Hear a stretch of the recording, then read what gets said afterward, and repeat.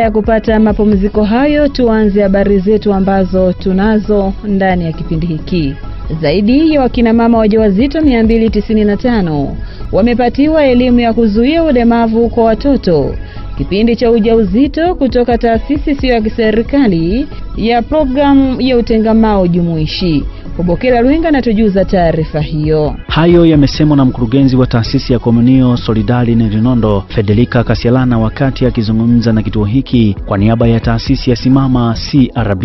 Mafanikio yetu mpaka sasa ni kama ifuatavyo: tumeendelea kutoa huduma ya mazoezi tiba vituoni na majumbani, kutoa dawa kwa watoto wenye shida ya kifafa na ushauri kwa wazazi wa watoto hawa, kutoa vifaa saidizi kama vya mbao, vya plastiki, POP na kadhalika pale wanapothibitishwa na daktari, kutoa mafunzo kwa wafanyakazi kila baada ya miezi miwili kwa lengo la kuwajengea uwezo wao na kuboresha huduma zetu, kutoa mafunzo kwa wazazi na walezi wa watoto wenye ulemavu katika vituo vyetu. Kwa mfano, mwaka huu mpaka siku ya leo tumetoa mafunzo kuhusu elimu jumuishi, maana ya ulemavu, umuhimu wa watengamavu na ujasiriamali kwa jumla ya siku kumi na kwa wazazi wapatao mia mbili ishirini na sita. Pia tumetoa mafunzo kwa kinamama wajawazito kuhusu namna ya kuzuia ulemavu kipindi cha ujauzito katika vituo vya afya vya serikali vipatavyo sita na pia katika hospitali kadhaa za jiji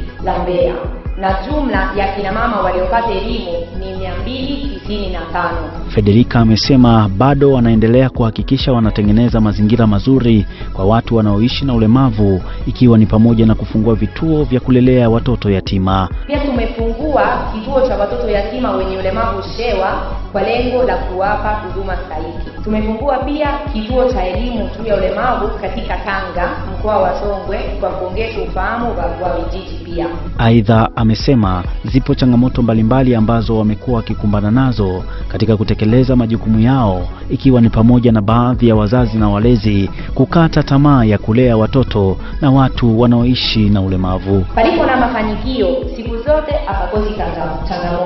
Hivyo zifuatazo ni changamoto zinazotukabili katika utoaji wa huduma hii ya utengamao kwa watoto wenye ulemavu: uchumi hafifu miongoni mwa wazazi wa watoto wenye ulemavu, na hivyo kushinda kutoa huduma za kiafya na kielimu kwa watoto wao; elimu duni kwa wanajamii na ujuzi juu ya ulemavu, na hata kwa baadhi ya wafanyakazi walioko kwenye vituo vya afya; upungufu wa miundombinu rafiki kwa baadhi ya shule na baadhi ya mitaa; baadhi ya walimu kuwa na elimu ndogo ihusianao na ulemavu; upungufu na mara nyingine kukosekana kabisa kwa mishahara ya wafanyakazi wanaotoa huduma kwa watoto wenye ulemavu, na pia kukata tamaa kwa baadhi ya wazazi wa watoto wenye ulemavu, na hivyo kuwakatia tamaa watoto wao kutokana na kuona ni mzigo usiobebeka na kuwalea watoto wao. Hata hivyo, Federica ameongeza kuwa kwa mwaka elfu mbili na ishirini na mbili wanatarajia kuendelea kutoa elimu kwa kuifikia jamii na kuanzisha kliniki ya utapiamlo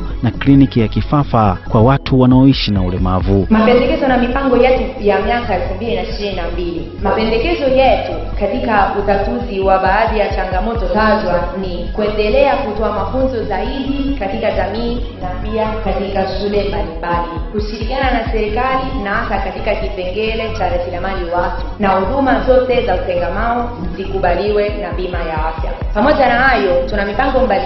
kwa mwaka ujao kama ifuatavyo: kuanzisha kliniki ya utapia mlo kwa watoto wenye ulemavu na kutoa elimu kwa wafanyakazi na wazazi kuhusu dalili za utapia mlo, kuanzisha kliniki ya kifafa kwa watoto wenye ulemavu na watu wazima na kutoa elimu kwa wafanyakazi na wanajamii kwa kuondoa na kupunguza unyanyapaa na ubaguzi, kufungua kituo cha utengamavu na hosteli kwa watu wazima na watoto hasa waliofanyiwa upasuaji mkubwa, kutoa elimu juu ya ulemavu katika kituo cha Tanga mkoa wa Songwe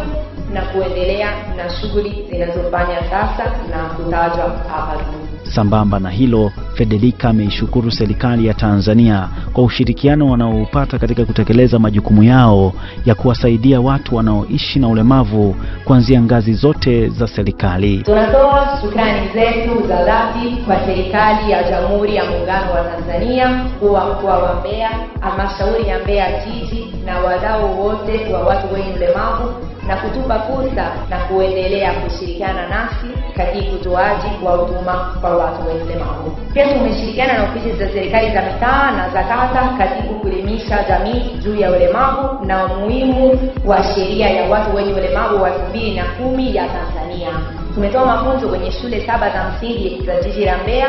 kwa wanafunzi wa darasa la tano na la sita na kwa wazazi wao kwa lengo la kuboresha uelewa wao kuhusu ulemavu. Katika kuhakikisha taasisi hiyo inatekeleza adhima ya kuisaidia jamii, wametenga maeneo ambapo huduma zao zinapatikana, ikiwa ni pamoja na kituo kilichopo katika kanisa la Moravia ni ushirika wa Iyunga, kanisa Katoliki Simike, pamoja na kanisa la Kiinjili la Kilutheri Tanzania usharika wa Uyole.